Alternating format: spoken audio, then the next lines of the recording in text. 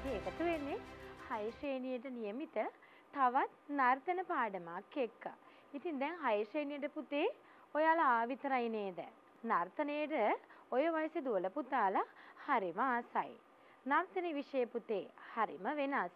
ඒ කියන්නේ අපි නර්තන ප්‍රායෝගික කොටසුත් හදාරනවා. ඒ වගේම විවිධ රස විඳින අංගත් නරඹනවා. ඒ වගේම ඔබ නොදන්නා එන්නට රසවිඳපු නර්තනංගවල න්‍යායාත්මක තොරතුරුත් ඔබට හදාරන්න පුළුවන් පුතේ නර්තනය විශයෙන්. ඉතින් නර්තනය කියලා කියන්නේ සෞන්දර්යයක්නේ නේද? සුන්දරත්වයක්. කාගේ දොයි සුන්දරත්වය? දැන් පේනවද? අද මේ පුතාලට දිස්වෙන තිරේ තියෙනවා. හරි සුන්දරත්වයෙන් යුතු ඡායාරූපයක්. බලන්නක චුට්ටක්ේ ඡායාරූපය. මොකද්ද තියෙන්නේ මේ ඡායාරූපය? පුතාලට හුරුයිද බලන්න? දැන් මොනවද කියන්න බලන්න? ගවයෙක් ඉන්නවා නේද? ඒ වගේම තියෙනවා කිරි උතුරන ගානට මුට්ටියක් තියෙනවා. නැව් මුට්ටියක්. ඒ වගේම පසකින් තියෙනවා කුඩා ගෙයක් තියෙනවා. ඒ වගේම පුතේ ඒ ඡායාරූපේ තියෙනවා. උග්ගස් කිහිපයකුත් තියෙනවා. ඒ වගේම සූර්යාලෝකයක් තියෙනවා. ඉතින් මොකක්ද අද පාඩම? හිතන්න පුළුවන්ද පුතාලට මොකක්ද එහෙනම් අද මේ ටීචර් කරන්නේ? නර්තනයේ පාඩමකුත් නෙවෙයි පුතේ. අද අපි ඉගෙන ගන්නේ වෙනත් සංස්කෘතියට අයත් නර්තන පාඩමක්. ඉතින් එතනට අපි දැන් යමු පුතේ පාඩමට. අපේ පාඩමේ කොටස් ටික අපි මෙහෙම හදාගමු. නිපුණතාවය. රසඥතා වර්ධනය සඳහා විවිධ කලාංගවල සුවිශේෂ ලක්ෂණ විචාරයට ලක් කරන්න ඕනේ. එතෙන්ට තමයි පුතේ අපි යොමු වෙන්න ඕනේ. එතෙන්ට අපි යොමු වෙමු අර කියන ඉගෙනුම් පළත් එක්කම. නිපුණතා මට්ටම පුතේ විවිධ ජන වර්ග හා සම්බන්ධි සංස්කෘතික උත්සව පිළිබඳ අදහස් ඉදිරිපත් කරන්න ඕනි. එහෙනම් ටීචර්ත් එක්ක එකතු වෙලා අපි මේ පාඩමේ ඉගෙනුම් පළ ටික සම්පූර්ණ වෙනකන් අර කියන නිපුණතාවයට යමු. නේද? ඔන්න ලෑස්ති පුතේ අද පාඩමට එහෙනම් යොමු වෙන්න. ඔන්න ඉගෙනුම් පළ ටික තියෙනවා. අපි ඒ ටිකත් බලාගෙනම යම් පුතේ කොහොමද අපේ පාඩම ගොඩ නැගෙන්නේ කියලා. තයිපොංගල් උත්සවය හා බැඳි ආගමික පසුබිම හඳුන්වයි. තයිපොංගල් යන වචනේ අර්ථය හඳුන්වයි. චාරිත්‍ර විදි හා පැවැත්වීමේ හේතු විස්තර කරයි. නර්තනාංග හා සැරසිලි පිළිබඳ විස්තර කරයි. ඔන්න ඔය කියන ඉගලුම් පළ ටික පුතේ අපි ලබා ගන්නවා අපේ අද පාඩම තුලින්. ඉතින් අදත් අපි කරන්නේ නර්තන පාඩමක් රස විඳිනවා. මම කියනවනේ පුතේ නේද? රස විඳින්න නම් මොනවද ඕනේ අපිට? අපිට පංචේන්ද්‍රිය ඕනේ රස විඳින්න. අර කියන කොටස් පහක් තියෙන දන්නවද පුතේ? දැන් පුතාලා ප්‍රාථමික අධ්‍යාපනයේ ඉඳලා හය ශ්‍රේණියට ආවා. ඒ කියන්නේ දැන් පුළුවන් පංචේන්ද්‍රිය හොයාගන්න. අපි රස විඳින්න නම් අපිට ඇහැකුත් ඕනේ. නේද? ඇයි අහන්න? කන් දෙකකුත් ඕනේ. රස බලන්න තියනවද? හැබැයි පුතේ කෑමක් නෙමේ. රස බලන්නත් ඕනේ අපි ඒක. අපිට කොච්චර සංවේදී වෙනවද කියලා බලන්නත් ඕනේ. එහෙනම් ওই හැම දෙයක්ම අපි ඇස, කන, නාසය, දිව, ශරීරය කියන පංචේන්ද්‍රියන් වලම එකතුවෙන් තමයි පුතේ අපි ඔය රසවින්දන පාඩම ඉදිරියට ගෙනියන්නේ. දැන් හරි නේද? ඔන්න අද යන්නේ රස විඳින්න. අපි කිව්වා අපේ නර්තනයේ විෂය සමබරත් එක්කම තමයි වර්ධනය වෙලා තියෙන්නේ. ඒ කියන්නේ ඔය අද ඉගෙන ගන්න න්‍යායාත්මක කරුණුත් තියෙනවා පුතේ. ප්‍රායෝගික දැනුමකුත් ලබා දෙනවා. ඒකම අපිට රසවින්දන ශක්්‍යතාවයක් ලබලා දෙනවා. ඕගොල්ලෝ ඔක්කොම රස විඳින්න හොඳට පුළුවන් නේද? හරි. ඔන්න එහෙනම් පුතේ ලෑස්ති අද පාඩමේ අපි බලමු පාඩමේ ක්‍රියාකාරකම. තයිපෝංගල් උත්සවය පිළිබඳ තොරතුරු ඉදිරිපත් කරමු. ඔන්න ඡායාරූපයක් මෙතනත් පුතේ ඔයාලට පේනවා නේද? බලන්න මේ ඡායාරූපය හරි විවිධත්වයකින් යුතුයි. ඒ වගේ මේකට භාවිතා කරලා තියෙන වර්ණ, තද පැහැයෙන් යුතු වර්ණ තමයි තියෙන්නේ. හරි පුතේ අපි පිවිසෙමු අපේ පළවෙනි පියවරට. අපි නර්තනයක් ඉගෙන ගන්න ඉස්සෙල්ලා නැත්නම් නර්තනය හා සම්බන්ධ ඔබ නොදුටු වෙනත් ක්‍රියාකාරකමක් හා සම්බන්ධ වෙනවා. එතකොට අපි මේකේ පුතේ නිතරම හොයන්නේ මේක කොහොමද බිහි වුණේ කියලා. මේකට පසුබිම වුණේ මොකද්ද කියලා තමයි පුතේ අපි අද හොයන්නේ. එහෙනම් තයිපොංගල් උත්සවයට මොකද්ද බිහි වෙන්නේ?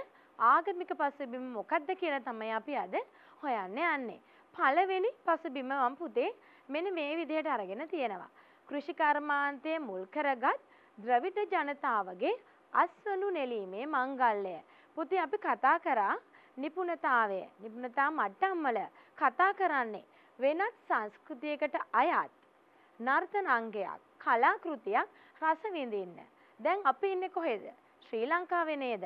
අපි චූටි රටක්. නමුත් පුතේ මේ චූටි මුතු යටි විවිධ ජන වර්ග ජීවත් වෙනවා. හරි නේද ටීචර්? පුතාලා ප්‍රාථමික අධ්‍යාපනයේදී ඉගෙන ගන්නවා විවිධ ලංකාව කියන රටේ විවිධ ජන වර්ග ජීවත් වෙනවා. කවුද මේ විවිධ ජන වර්ග ටික කියමු බලන්න මමත් එක්ක. සිංහල ජනතාව ඉන්නවා. මුස්ලිම් ජනතාව ඉන්නවා. ඒ වගේම කතෝලික ජනතාවකුත් ඉන්නවා. බර්ගර් ජනතාව ඉන්නවා. එතකොට පුතේ මේ ශ්‍රී ලංකාව තුල විවිධ ජන සමූහ කිහිපයක් එකතු වෙලා තියෙනවා. ඒ නිසා අපි කියනවා බහු සංස්කෘතික ලක්ෂණ පෙන්눔 කරනවා අපේ ශ්‍රී ලංකාව තුල. විවිධ සංස්කෘතිකවල එකතුවක් තමයි පුතේ බහු සංස්කෘතික ලක්ෂණ තියෙන්නේ. එතකොට අපි දැන් කොහොමද මේක බලාගන්නේ? අපි වෙන් කරගන්න ඕනේ නේද? ද්‍රවිඩ සංස්කෘතියෙන් සිංහල සංස්කෘතිය වෙන් කරගන්න ඕනේ. ඒ වගේම මේ දෙකම එකට අනන්‍යතා ලක්ෂණ පෙන්වන අවස්ථාවකුත් එනවා. ඒ වගේ වෙලාවට අපි තෝර බේර ගන්න ඕනේ. අපේ සිංහල සංස්කෘතියට මොනවද අයත් වෙන්නේ? ද්‍රවිඩ සංස්කෘතියට මොනවද අයත් වෙන්නේ කියලා. අපි තාම හය ශ්‍රේණියනේ පුතේ ඉන්නේ. අපි සරලව තේරුම් ගමු කොහොමද මේ පාඩමයි සංස්කෘතියයි කොහොමද මේකට එකතු වෙන්නේ කියලා. ඉතින් දන්නව නේද පුතේ දැන් විවිධ සංස්කෘති තියෙනවා. අපි ජීවත් වෙන ජන සමාජයේ එක එක ජාතියේ කොටස් ඉන්නවා. එක එක ජාතියේ ඇදහුම් ඇදහිලි හා විශ්වාස කරන පුද්ගලයන් පිරිසක් ඉන්නවා. ඒ වගේම විවිධ ඇඳුම් පැළඳුම් අඳින කොටසක් ඉන්නවා. අපි අනින්දාට වෙන වෙන ඇඳුමක් වෙනස් සමාජයක පුතේ අඳින්නේ ඊට වඩා පරිබාහිර රටාවක්. එතකොට ඔන්න පොඩි පොඩි සංස්කෘතික ලක්ෂණ ටිකක් ඔන්න ඔය කියන ශ්‍රී ලංකාවේ ඇතුලේ ගොඩ නැගෙනවා. ඔන්න දැන් ආයි එනවා නර්තනය පාඩමට. නර්තනය පාඩමටත් පුතේ ඒ කියන සංස්කෘතික වෙනස්කම් අපි හොයාගෙන යමු. ඔන්න එහෙනම් පළවෙනි ඉගෙනුම් ඵලයත් එක්ක මම සම්බන්ධ වෙනවා. කෘෂි කර්මාන්තය ශ්‍රී ලංකාවේ අපේ ප්‍රධාන ජීවන වෘත්තිය තමයි පුතේ කෘෂි කර්මාන්තය. ඒක පුතාලා දන්නවා. ඒක ඉගෙන ගන්නවා නේද? ප්‍රධානම කෘෂි කර්මාන්තයේ මූලික වෙච්ච සමාජයක් තමයි අපිට තිබ්බේ. අපි දැන් නමුත් නවීන තාක්ෂණයත් එක්ක ටික ටික ඉදිරියට ගියාට අපේ ශ්‍රී ලංකාවේ මේ කෘෂි කර්මාන්තයට මුල් තැන දෙන බොහෝ ගම් තියෙනවා. නේද? ඒ සමාජ සංස්කෘතික ඒගොල්ලන්ට විදියට හැදිලා තියෙනවා. අපේ කොළඹ නගරය ඒකට අදාළ සංස්කෘතියක් තමයි තියෙන්නේ. දැන් පුතාලට තේරෙන්න ඇති. කොළඹයි ඔය කියන ගමයි අතර සංස්කෘතික දෙකක් ශ්‍රී ලංකාවේ ඉන්නේ පුතේ. හැබැයි විවිධ විදිහට මේකේ වෙනස්කමක් තියෙනවා. ඔන්න පළවෙනි එකට අපි යමු පුතේ නැවතත් බලන්න ආගමික පසුබිම. කෘෂි කර්මාන්තයේ මුල් කරගත් ද්‍රවිඩ ජනතාවගේ අස්වනු නෙලීමේ මංගල්‍යය එක්ක තමයි මේකේ ආගමික පසුබිම දිගහැරිලා තියෙන්නේ. දෙවනි ඉගෙනුම් ඵලය පුතේ මම ගන්නවා. දෙවනි එක ඕගොල්ලන්ට කියලා දෙනවා. තයිපෝංගල් උත්සවය නම් වුණේ කොහොමද කියලා තයිපෝංගල් කියන උත්සවයට නම හැදිච්ච ආකාරයක් තියෙනවා. ඒ වගේම හිරු දෙවියන්ට ස්තුති කිරීමට තමයි මෙන්න මේ තයිපෝංගල් උත්සවය පවත්වන්නේ. ඔන්න දැන් ටීචර් ආයෙ හඳුන්වනවා. හිරු දෙවියන්ට කළ ගුණ සලකනවා. කොච්චර හොඳ එකක්ද නේද? කොච්චර හොඳ මානව ගුණාංගයක්ද? කළ ගුණ සැලකීම. අපිට කවුරු හරි උදව් කළොත් අපි නැවත එයාට උදව් කරන්න ඕනේ පුතේ. හරි. ඇයි කාටද දැන් මෙතන උදව් කරන්නේ? මොකද්ද උදව් කරන්නේ නේද? මේ නැටුම් වල කොහොමද තයි පොංගල් උත්සවයේ සම්බන්ධ වුනේ? කාටද අපි මේ උදව් කරන්නේ නේද? නර්තන විෂයත් එක්ක. තයි පොංගල් උත්සව කියන්න පුතේ. කෘෂිකාර්මික ජනතාවට ඒ වැඩ කටයුතු කරගෙන යන්න. ස්වභාව ධර්මයේ අපූර්ව දායාදයක් කරන හිරු දෙවියන් විසින් ලබා දෙන ආලෝකය මේ මුළු ලංකාව මේ මුළු ලෝකයම ඔය කියන සූර්යාගේ ජීවයෙන් තමයි පුතේ පෝෂණය වෙන්නේ. ඉර නැත්නම් මොකද වෙන්නේ? අපිට ඉර ඕනේ නේද? එහෙනම් අපිට කලාව වෙලාවට කලාවට ලබා දෙන මේ සූර්යාලෝකයට මේ මිනිස්සු මේ ද්‍රවිඩ ජනතාව කළගුණ සලකනවා. පූජෝපහාර පවත්වනවා. හිරු දෙවියන් වෙනුවෙන් පූජෝපහාර පවත්වනවා. මේ කියන තමන්ගේ අස්වැන්න හොඳට ලබා දුන්නට නේද? නිකන් නෙවෙයි.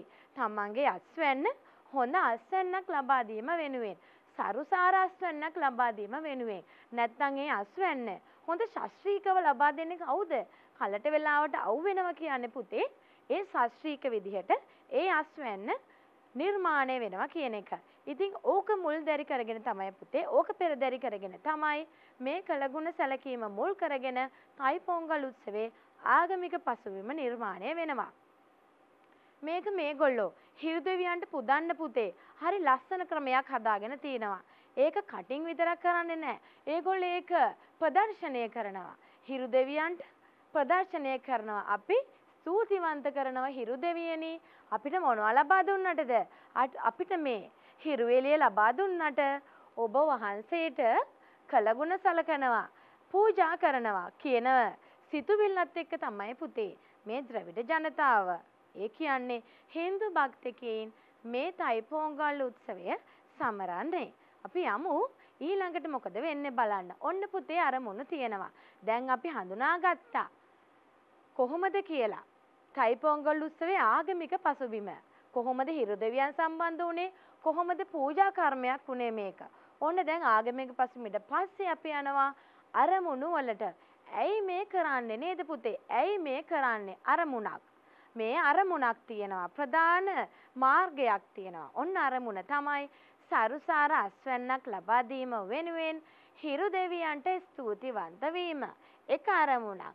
තව අරමුණක් තියෙනවා පුතේ. දැන් ඔය කෘෂි කර්මාන්තයට තනියෙන් බෑන ගොවියට නේද? ඔය කුඹුරේ වැඩ කටයුතු කරන්න ගොවියට තනියෙන් බෑ. කාගේ උදව්වද ලබා ගන්නේ?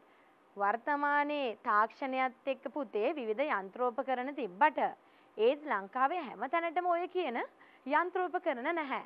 ඒ වගේ වෙලාවට අපි ගන්නේ උදව්ව අපේ සත්ව සම්පත ගවයින්ගෙන් හා එළුවන්ගෙන් උදව් අරගෙන තමයි පුතේ ඔය කෘෂිකර්මාන්තය මුල් කරගෙන ඔය වැඩ කටයුතු ටික හරියටම කරේ. එහෙනම් දැන් කළගුණ දක්වන්න දෙන්නෙක් ඉන්නවා. කවුද මේ දෙන්න? ඒ තමයි ස්වභාව ධර්මයේ හිරු දෙවියන් ඉන්නවා. අනිත් කවුද ඉන්නේ? හරියට හරියා ඉන්නේ පුතේ ගවයා මූලික කරගත්ත. ගවයා සහ එළුවා කියන සත්වයින් දෙදෙනාටත් මේ තයිපොංගොල් උත්සවයේදී নমස්කාර කරනවා. කෘතගුණ සලකනවා. පූජා කටයුතු කරනවා. හැබැයි මේක කරන්නෙත් පුතේ හරිම විදිහකට. මේක කරන පිළිවෙලක් තියෙනවා. අපි දැන් යමු ඔය කියන පිළිවෙලත් බලාගෙන එන්න. පුතේ තයිපෝංගල් උත්සවය අපි දැන් ඉගෙන ගත්තා කොහොමද මේක ආගමික පසුබිම බලපෑවේ කියලා. ඒ වගේම දැන් අපි යනවා තයිපොන්ගල් කියන වචනාර්ථය කොහොමද නිර්මාණය වුණේ පුතේ ඔය දර්ශනය වෙන තිරේ තියෙනවා. චුට්ටක් අපි එදෙන බලමුකෝ. අවුරුද්දේ පළමු මාසේ අපි හඳුන්වනවා තයි මාසය කියලා. මේකටත් පුතේ විවිධ නිර්වචන තියෙනවා. මේක යන්නේ අවුරුදු කැලෙන්ඩරත් එක්ක නේද? එතකොට මේකෙදි විවිධ නිර්වචන තියෙනවා. මේ වචනය සම්බන්ධව අපි ගන්නේ නමුත් අවුරුද්දේ පළවෙනි මාසය හඳුන්වන්නේ තැයි මාසය කියලා. එතකොට උතුරායෑම කියන අර්ථය අපිට ලබා දෙනවා පොන්ගල් කියන වචනයෙන්. ඉතින් මොකද වෙන්නේ? තයි දන්න පොංගල්. මොකද වෙන්නේ මේක? එකතු වෙනවා පුතේ. තයි දන්න පොංගල් එකතු වෙලා තයි පොන්ගල් කියන එක තමයි නිර්මාණය වෙන්නේ. ඔන්න දැන් තයි පොන්ගල් කොහොමද හැදුනේ කියලා කවුරු හරි ඇහුවොත් එහෙම ඒකට උත්තරයක් පුතේ දැන් ළඟ තියෙනව නේද? තයි පොන්ගල් අවුරුද්දේ පළවෙනි මාසයේ තයි මාසය. පොන්ගල් කියලා කියනවා උතුරා යෑම. ඔන්න පුතේ නිර්මාණය වුණා තයි පොන්ගල් අපේ පාඩමේ පළවෙනි ක්‍රියාකාරකම. එතකොට පුතේ මේක සමරනවා. පුතාලට මතක ඇති. හැම අවුරුද්දකම ජනවාරි 15 නැත්තම් 14 ඔන්න දැන් දෝල ගිහිල්ලා බලන කැලෙන්ඩරේ. ළඟ තියෙනවා නම් තාම තියෙනවා පුතේ කැලෙන්ඩරේ. ජනවාරි 15 බොහෝ දුරට තයි පොංගල් උත්සවය වෙනුවෙන් ඒ කියන්නේ හින්දු භක්තිකයන් වෙනුවෙන් වෙන් වෙච්ච දවසක් පුතේ තයි පොංගල් උත්සවය හා සම්බන්ධ මේ ජනවාරි 15 හරි නේද? මේ ජනවාරි 15 හොයාගෙන ගිහිල්ලා බලන්න. ඔන්න පුතේ ඔයාලටම තේරෙයි ඇත්ත නේද මේක කියලා. අපි ශ්‍රී ලංකාව තුල ද්‍රවිඩ ජනතාව පුතේ ජීවත් වෙනවා. දැන් මේ වචන බලන්න. තයි ද්‍රවිඩ භාෂාවක් අපි උච්චාරණය කරන්න ඕනේ. පොංගල් අපේ සිංහල නෙමේ පුතේ මේ භාෂාව. මේක ද්‍රවිඩ භාෂාව.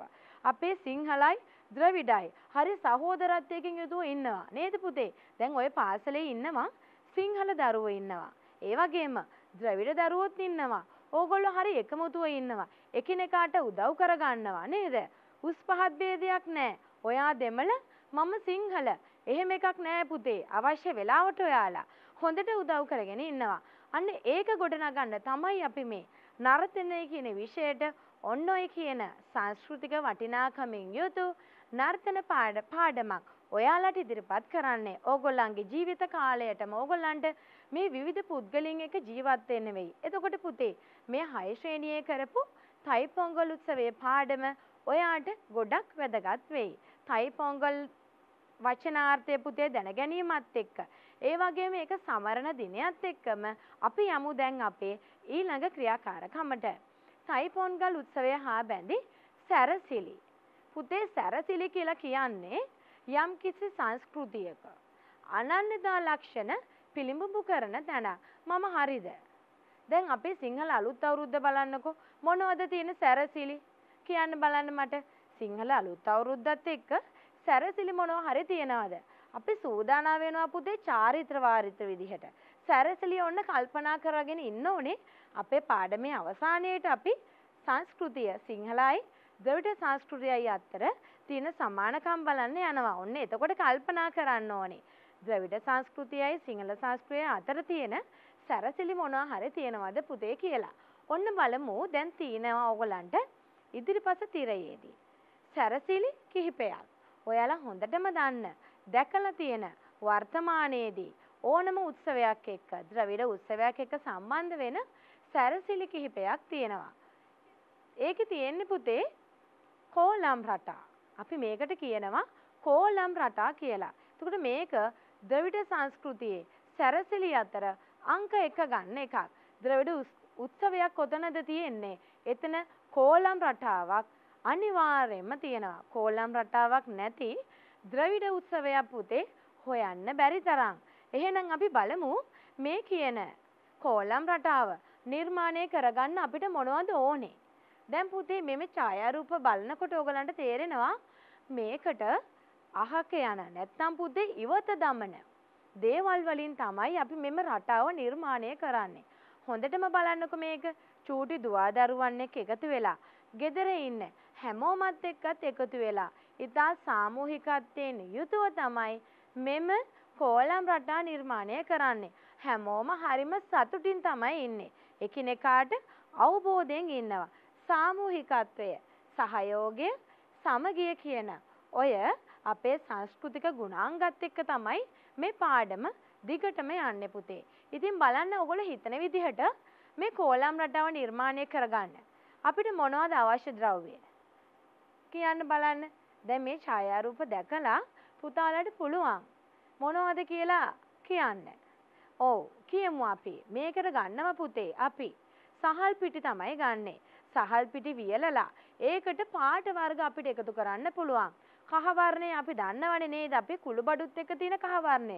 ඒක භාවිතා කරනවා මේ කෝලම් රටාවල සහල් පිටි එක්ක එකතු කරලා කහ වර්ණය සකසා ගන්නවා. ඒ වගේම තමයි පුතේ සහල් පිටි වලට විවිධ වර්ණ එකතු කරලා තම තමන්ගේ තියෙන කෝලම් රටාවලට අවශ්‍ය වර්ණ ගැලපීමකුත් ඔය කෝලම් රටාවේදී වෙනවා. හැබැයි පුතේ ඕක ආවට ගියාට කරන්නත් බෑ. ඕකට මනා ඉවසීමක් තියෙන්නත් ඕනේ. සන්නෙමයක් තියෙන්නත් ඕනේ. මේක වේගෙන් වේගෙන් කරොත් ඔය කෝලම් රටාවේ තියෙන ලක්ෂණය එතනින් පුතේ නැති වෙන්නත් පුළුවන්. හරි සියුම් ඉවසීමකින් යුතුව සංයමයකින් යුතුව තමයි මෙම කෝලම් රටාවල ඕගොල්ලෝ නිර්මාණය වෙන්න ඕනේ. ඕගොල්ලෝ නිරත වෙන්න ඕනේ පුතේ. අන්න ඒ විදිහට තමයි. ඒ වගේම පුතේ මෙතන සැරසිලි දැන් කතා කරේ කෝලම් රටා ගැන. තව සැරසිල්ලක් තියෙනවා. ওই ඡායාරූපවල පුතේ මැද රූපය. චුට්ටක් බලන්නකෝ මේ මැද රූපය. දැන් අපි කතා කරන්නේ ද්‍රවිඩ. ද්‍රවිඩ සංස්කෘතිය නේද? ද්‍රවිඩ සංස්කෘතියත් එක්ක තමයි අපි කතා කරන්නේ. එතකොට ද්‍රවිඩ සංස්කෘතියේ හින්දු ආගමනේ මුල් වෙලා තියෙන්නේ නේද? මේක හින්දුන් ඉතා භක්තියෙන් සමරන උත්සවයක්. එතකොට මේ හින්දුන්ගේ ප්‍රධාන ආගමික ස්ථානය මොකද්ද? කවුද දන්නේ? හින්දුන්ගේ ප්‍රධාන ආගමික ස්ථානය තමයි පුතේ කෝවිල. මේගොල්ලෝ මේ කෝවිලත් එක්ක තමයි එදිනෙදා කටයුතු වල නිරත වෙන්නේ. එතකොට කෝවිලත් පුතේ මේගොල්ලෝ සරසනවා. දැන් පේනවා ඡායාරූපෙන් කෝවිල සරසනවා. කෙසෙල් ගස් ගන්නවා. ශාස්ත්‍රීයකත්වය. ඒ වගේම උණ පඳුරුත් ගන්නවා. ගොක්කොල වලින් විවිධ කැටයම් කළා. ඒක නිර්මාණාත්මක පුතේ කෝවිල් වල දෙපස ඒ වගේම ඔය තයිපොංගල් දිනේදී පුතේ ද්‍රවිඩ භක්තිමතුන් ඒ කියන්නේ හින්දු භක්තකයින් අනිවාර්යයෙන්ම කෝවිලට එන දවසක්. එතකොට ඔවුන් ගමන් කරන මාර්ගය ඔය කියන ගොක්කොල වලින් අලංකාර කරනවා. මොකද එදාට උත්සවයකට අලංකාර කරනවා පුතේ කියන්නේ හරි නෑවුම් විදිහක්. ඒක හරි වෙනස් දෙයක්. ඒ නිසා ද්‍රවිඩ සංස්කෘතියත් එක්ක ඔය කියන සැරසිලි ටික අනිවාර්ය අංගයක් වෙනවා. ඔන්න දැන් අපි කෝවිල ගැනත් බැලුවා. ඒ වගේම කෝලම් රටා ගැනත් බැලුවා. කෝවිල සරසන හැටිත් බැලුවා පුතේ. තව ඉදිරියටත් ඕගොල්ලෝ මේ පාඩමත් එක්ක එකතු වෙලා මෙම සැරසිලි පිළිබඳ පුතේ අධ්‍යයනය කරන්න ඕනේ. තුන්වෙනි ඡායාරූපය පේනව නේද පුතේ බලන්න. ඔය කියන කෝලම් රටාව මැද්දේ තියෙනවා පුංචි සැරසිල්ලක්. දැන් බලන්නකො ඔය සැරසිල්ලේ මොකද්ද තියෙන්නේ කියලා. ඔය සැරසිල්ල මැද්දේ තියෙන්නේ පුතේ කලයක්. මැටි කලයක් තියෙනවා. ඔය මැටි කලයට උඩින් තියලා තියෙනවා පොල් ගෙඩියක්. එතකොට පොල් ගෙඩියයි මැටි කලයයි අතර රඳවලා තියෙනවා අඹ කොළ කිහිපයක්. ඒ එක්කම පුතේ අඹ කොළත් එක්කම කොහොඹ කොළත් භාවිතා කරනවා. අඹ කොළ කියන්නේ පුතේ ශාස්ත්‍රීයකත්වය නේද? අඹ කොළ වලින් නිරූපණය කරන්නේ ශාස්ත්‍රීයකත්වය සහ සෞභාග්‍ය. ඒ වගේම කොහොඹ මොනවද කොහොඹ වලින් කරන්නේ? ඔය ඔය හැම ශාකයකටම පුතේ මේ නිකමට ගත්තු දේවල් නෙමෙයි. මේවේ යම්කිසි දෙයක් මිනිසුන්ට ලබා දෙනවා. එතකොට මේ කොහොඹ කොළ වලින් විස බීජ නාශකයක්. එතකොට මේ උත්සවයේදී ඒගොල්ලෝ ඒකත් අමතක කරන නැහැ. කොහොඹ කොළ කියන එක පුතේ විස බීජ නාශකයක්. ඒක ශ්‍රී ලංකාවේ ද්‍රවිඩ සංස්කෘතිය කියලා වෙනසක් නෑ පුතේ. ඒක අපිට භාවිතා කරන්න පුළුවන්. අපේ උඩරට නර්තන කලාවේ කොහොඹ දෙහි භාවිතා කරන ඔන්න එතකොට තයිපොංගල් උත්සවය හා බැඳි ද්‍රවිඩ හින්දු භක්තෙනුත් ඔය සැරසිලි වලට කොහොඹ කොළ භාවිතා කරලා තියෙනවා. උඩින්ම තියෙනවා පුතේ. පහනක් පත්තු කරනවා අපි. ඔය සැරසිල්ලේ මැද තියෙන සැරසිල්ලේ ඉහළටම පහනක් පත්තු කරන්න පුළුවන්. ඒ වගේම ඔය කෝලම් රටාව වටේටත් අපිට පුළුවන් පහන් ආලෝකයක් ලබා දෙන්න. ඔය ආලෝකයෙන් මොකද්ද පුතේ බලාපොරොත්තු වෙන්නේ? අපි ආලෝකයෙන් සාමාන්‍යයෙන් බලාපොරොත්තු වෙන දෙයක් තියෙනවා. අපි කළුවරේ ඉන්න කැමති නෑ නේද? අපි අඳුරු තැන්වල ඉන්න කැමතිත් නැහැ. එහෙනම් ඕකෙන් ලබා දෙන්නේ පුතේ සියලුම දුක්ඛ දෝමනස්යන් අපිට දුරු කරලා දෙන්න කියන එකත් ඔය පහන් ආලෝකයත් එක්ක සම්බන්ධ වෙනවා. එහෙනම් ඔය කියන සැරසිලිත් එක්ක ගොඩාක් විස්තර ටිකක් තියෙනවා. අපිට ඇහැට පේනවා පුතේ සැරසිල්ලක්. නමුත් ඔය සැරසිල්ලේ ඇතුළත තියෙන කතාන්දරයකුත් තියෙනවා. ටීචර් කිව්වනේ සෞභාගය තියෙනවා. ශාස්ත්‍රීයත්වයක් තියෙනවා. ආලෝකයෙන් තියෙනවා. අඳුර අයින් වෙලා සියලුම දුක්ඛ දෝමනස්යන් දුරු වෙලා ආලෝකය ලබා දෙන්න. හිරු දෙවියන් ලබා දෙන ආලෝකය වගේම සැරසිලි වලටත් ඔය කියන සැරසිලි තුලින් ලබා දෙන ඔය කියන ආලෝකයත් ලබා ගන්න මෙම හින්දු භක්තකීන් අමතක කරේ නැහැ. දැන් පුතේ පුළුවන් නේද? සැරසිල් වලට මොනවද අපි යොදාගන්නේ? සැරසිලි කරන්නේ ඇයි? මොනවද මේගොල්ලෝ ළඟ තියෙන සැරසිලි? සිංහල අපිට වඩා වෙනස්ද? හරි නේද? හොයාගත්තනේ. ඔන්න ඒ ටික පුතේ මතක ඇතුව ළඟ තියාගන්න ඕනේ. හරිනේ. ඔන්න අපි යනවා දැන් තයිපොංගල් උත්සවය හා බැඳි චාරිත්‍ර වලට. තයිපොංගල් උත්සවය හා බැඳි චාරිත්‍ර බොහොමයක්ම තියෙනවා. ඒ චාරිත්‍ර හැම එකක්ම පුතේ ස්තුතිවන්ත කරන්නේ කාටද? භක්ති කරන්නේ කාටද? පූජා කරන්නේ කාටද කියන්නකෝ බලන්න. හිරු දෙවියන්ට. හිරු දෙවියන්ට. ඒතරම් පූජා කරන සංස්කෘතික උත්සවයක් පුතේ නැති තරම්. නේද? ඒ තරම් ස්වභාව ධර්මය තම ජීවය ලෙස තමයි මේගොල්ලෝ සරකන්නේ. එතනනොත් හිරු දෙවියන්. පුතේ දැන් බලන්න කිරි ඉතිරි වීම. එහිදී පොන්ගාලෝ පොන්ගාල් කියලා තමයි මේගොල්ලෝ කිරි උතුරවන්නේ. ඔන්න දැන් කිරි උතුරන කතාවට එන්න ඉස්සෙල්ලා මම මෙන්න මේ දෙක කරනවා පුතේ. දැන් තයිපොංගල් උත්සවය අපි සමරනවා හිරු දෙවියන්ට කෘතගුණ සැලකීමට. එහෙනම් මොකද්ද කරන්නේ? එදාට කරන්නේ තම අස්වැන්නේ ලබාගත්ත පළවෙනි කොටස. ඔන්න දැන් මම කියන්නේ අහගන්න. දැන් අපි පාඩමක් පුතේ මැද්දට ඇවිල්ලා ඉන්නේ. දැන් හොඳට තේරෙනවා. තයිපොංගල් උත්සවයේදී කිරි ඉතුරු වීමක් අපි කරනවා. කිරි ඉතුරුවන්න ඉස්සෙල්ලා මේ ගොවි ජනතාව තමන්ගේ අස්වැන්නේ කොටසක් නෙලා ගන්නවනේ ජනවාරි මාසෙදී ওই නෙලාගත්ත කොටස එවලම මේගොල්ලෝ ඒකෙන් කිරිබතක් හදලා ඔය කිරිබත පූජා කරනවා හිරු දෙවියන්ට. හැබැයි නෙලන අවස්ථාවේදීම සිදු කරන දෙයක් ඒක. ඒ තරම් ඒගොල්ලෝ හිරු දෙවියන් වන්දනා කරනවා. ඔය හිරු දෙවියන් වන්දනා කරන එකට පුතේ ඒ සහල් එක්කම එලකිරි, සූකිරි, තල, මුන් කියන රස කැවිලි ටිකත් රස එකතු කරන දෙයත් ඔය මුට්ටියට එකතු කරනවා. ඔය ඔක්කොමෙම හදා ගන්නවා. හොඳ කිරිබතක් පුතේ. නේද? දැන් මල් මැවෙන්න ඕනේ. ඔක සුදු පාට නෑනේ නේද? දැන් බලන්නකො ඔකට දාලා තියෙන දේවල් තලත් දානවා. සූකිරිත් අපි එකතු කරනවා. හකුරුත් අපි එකතු කරනවා. නේද? ඔය කියන සියලුම රසයන් එක්ක ඔය කිරිබත විවිධ වර්ණෙකුත් ගන්නවා. දැන් මොන වර්ණෙද ගන්නෙ? ඒක ඔයගොල්ලෝ හිතන්න ඕනි පුතේ. සුදුත් එක්ක ඔය කියන වර්ණයත් එකතු වෙලා තමයි කිරිබත හැදෙන්නේ. ඔන්න දැන් තියෙන්නේ දුඹුරු පාට මිශ්‍ර කිරිබතක්. දැන් මොකද කරන්න ඔය කිරිබත? එකටම පුදනවා හිරු දෙවියන්ට. හිරු දෙවියන්ට පුදන්න පුතේ. මේ මේ හින්දු ජනතාව හදාගන්නවා සූර්යාගේ සලකුණ තියෙන සලකුණක් හදාගන්නවා යම්කිසි ආධාරකයක්.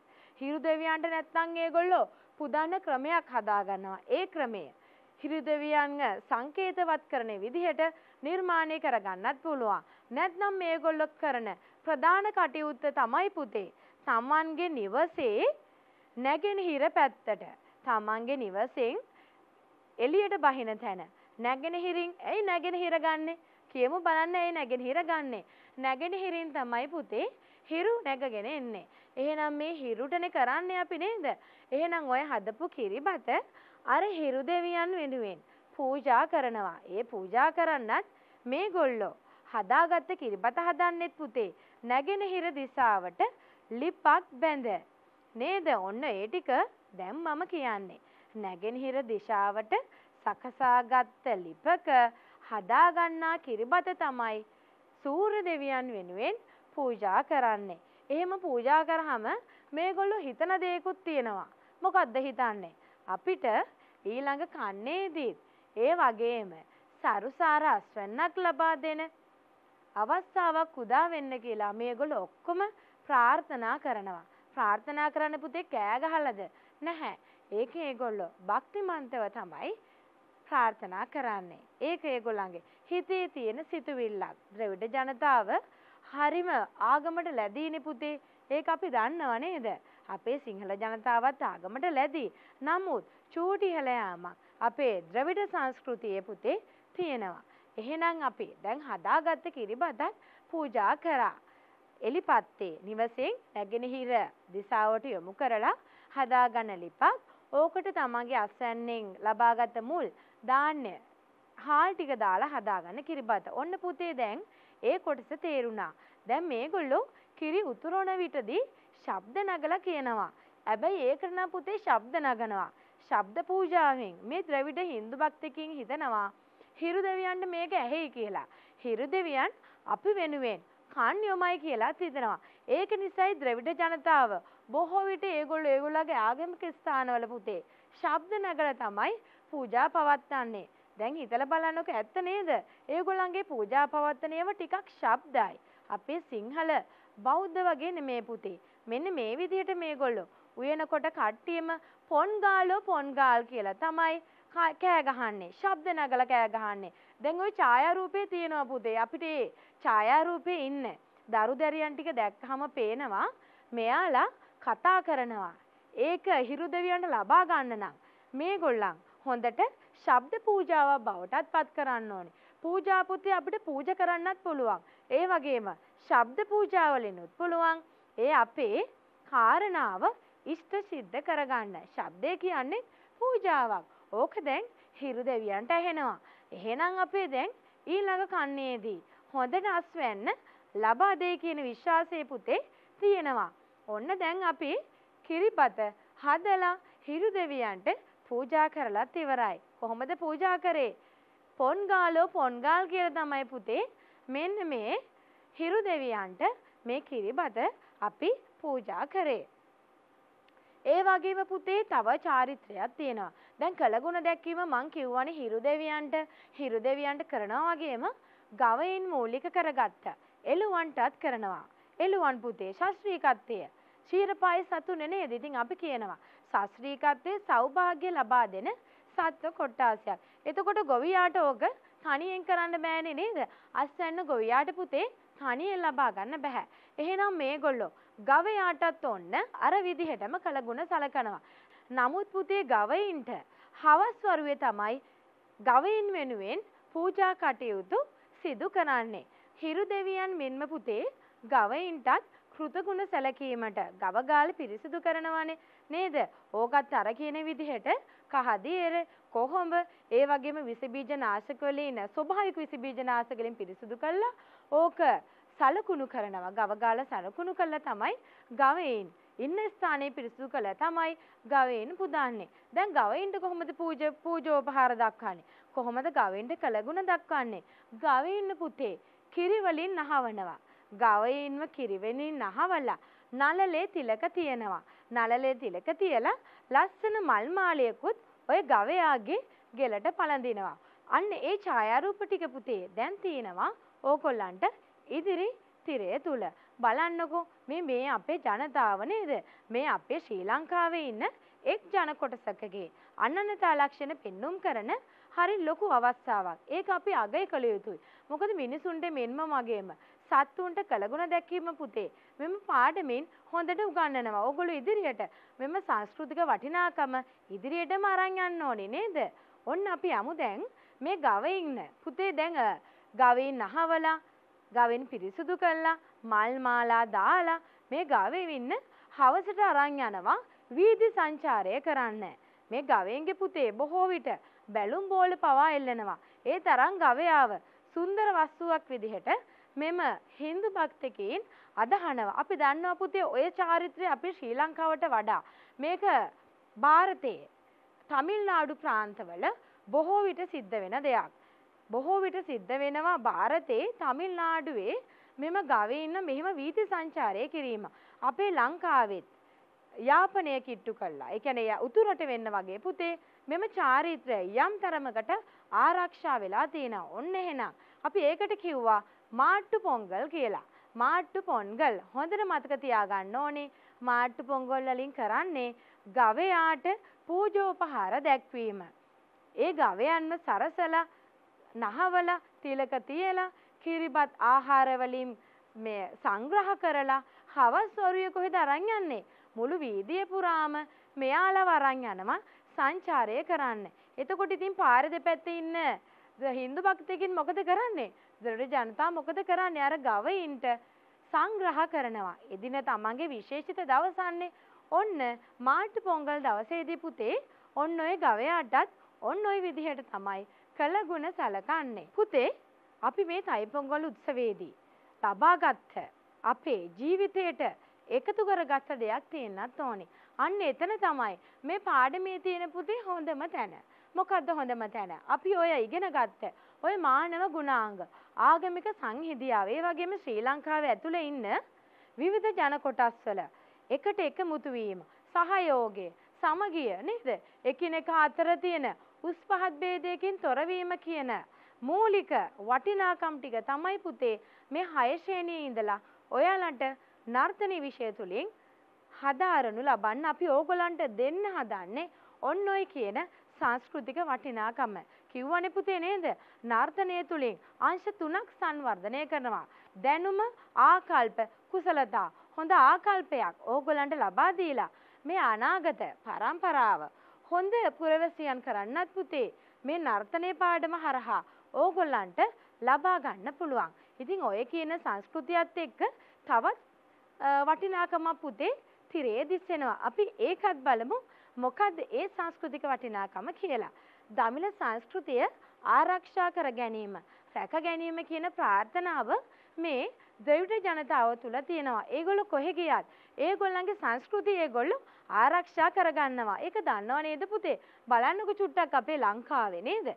උතුරට ගියාම ඒ කට්ටිය තුල තියෙනවා හරිම සහයෝගයක්, සාමූහිකත්වයක්. ඒගොල්ලන්ගේ ආගමට හරි ලැබියාවක් තියෙනවා. එහෙනම් ඒක ඇත්ත තමයි නේද? එන්න පුතේ. එහෙනම් ඒ කාරණයක් මේකෙම ඉෂ්ට වෙනවා. ඒ වගේම පරිසරයත් එක්ක තදින් සම්බන්ධ වෙච්ච ජනතාවක් තමයි පුතේ මේ කියන සංස්කෘතික වටිනාකමත් එක්ක ඉන්නේ. ද්‍රවිඩ ජනතාව දෙමළ භාෂාව කතා කරන්නේ. නමුත් එයාලා තුල තියෙනවා අපිට ලොකුම ලොකු සංස්කෘතික වටිනාකමකින් යුතු අපිට ගන්න තියෙන බොහෝම ගුණාංගයන්. ඉතින් පුතේ අද පාඩමේ අවසානයේට තමයි මල් ළඟා එන්නේ. අවසානයේට ඉස්සෙල්ලා ඔන්න අපි මුල ඉඳන්ම කතා කරගෙන එමුද අගට. ලෑස්තිද? ඔන්න එහෙනම් ක්‍රියාකාරකමට යන්න ඉස්සෙල්ලා තමයි මං ඔන්න මුල ඉඳලා එනවා. අපි කොහොමද එන්නේ? ඔන්න තයිපෝංගල් උත්සවය. කොහොමද ඇති වුනේ? මොකද්ද මේකේ අරමුණු? කාටද අපි මේ පූජෝපහාර කරේ? කාටද කරේ? ස්වභාව ධර්මයේ අපේ ප්‍රධානම වස්තුවක් කවුද? අන්න හරි. හිරු දෙවියන්. හිරු දෙවියන් අපි ඉතා භක්තිමත්ව වන්දනා කරන්න අරමුණු කරගත්තා තයිපෝංගල් උත්සවය තුලින්. ඒ වගේම කෘෂිකාර්මික ජනතාවට තමන්ගේ වැඩ කටයුතු සාර්ථක කරගන්න ගවයාගෙන් ලබා දුන්න සහයෝගය එළුවාගෙන් ලබා දුන්න සහයෝගයත් එක්ක පුතේ අපි ගවයාටත් කෘතගුණ සලකනවා සත්වට සත්වයින්ට සැලකීම උතුම් ගුණාංගයක් කියන එකත් පුතේ මේ පාඩම තුලින් ඔබට ලබා දෙනවා. ඔන්න අරමුණු ටික හරි නේද? එහෙනම් දැන් කොහෙද යන්නේ? දැන් යමු සැරසිලි. මොනවද තිබ්බ සැරසිලි මතකයි නේද? සහල් පිටි වර්ණ ගන්නලා ඕකෙන් හදාන ප්‍රධාන සැරසිල්ලක් තිබ්බා. ඒ මොකද්ද? කෝලම් රටා. ද්‍රවිඩ සංස්කෘතියේ එක් පැතිකඩක් කිව්ව පුතේ මේ සංස්කෘතික සැරසිලි කියන එක. අනික ඒකේ වර්ණ බලන්න ඕනේ නේද? ඔන්න වර්ණ ගැන කියන්න ඕනේ. ද්‍රවිඩ සංස්කෘතිය කියන්නේ හරි තද වර්ණ වලට යන සංස්කෘතියක්. අපි සිංහල ගොඩක් තද වර්ණ නෑ නේද අපිට? ඇත්ත නේද? බලන්නකෝ ඒගොල්ලෝ කෝවිල් වලට යන හැටි. ඔන්න මම දැන් ආයෙ කියනවා අහගන්න ඕනේ. කෝවිල් වලට යන්නේ පුතේ ගොඩක් තද වර්ණ. ඒ වගේම දිලිසෙන ඇඳුම් පැළඳුම්. මේ සංස්කෘතිය එක අනන්‍යතා ලක්ෂණයක්. ඒගොල්ලන්ගේ ඇඳුම් පැළඳුම් වෙන විදිහකට. අපේ සංස්කෘතිය අපි ගන්නෙ වෙනම විදිහකට. දැන් ඔන්න හරි. සරසිලිත් කතා කරා. ඒ වගේම අපි දැන් යනවා චාරිත්‍ර වාරිත්‍ර වලට. චාරිත්‍ර වාරිත්‍ර පුතේ මේක තියෙනවා අපි. ගවයාන්ට සැලකීම. ඒ වගේම ගහවයා නහවා තිලක තියලා සරසලා මල් මාලා දැමීමත් එක චාරිත්‍රයක්. අපි ඒකට කිව්වා මාට්ටු පොංගල් කියලා. අනිත් චාරිත්‍රය තමයි හිරු දෙවියන් වෙනුවෙන් පොංගාලෝ පොංගාල් කියලා කිරි උතුරනකොට ශබ්ද නගා මොකද්ද කරන්නේ? පොංගාලෝ පොංගාල් කියලා කිරි උතුරවනවා. ඔන්න පුතේ චාරිත්‍ර දෙකක් හරි. ඒ වගේම හවසට නෑදෑ ගමන් බිමන් යල යන එකත් ඔය දෙවඩ සංස්කෘතියේ එක් පැතිකඩක් නේද? තමන්ගේ නෑදෑ හිතවතුන් බලලා පොඩ්ඩක් සුහද හමුවීමක් ගන්න හැම සංස්කෘතියක්ම කැමතියි.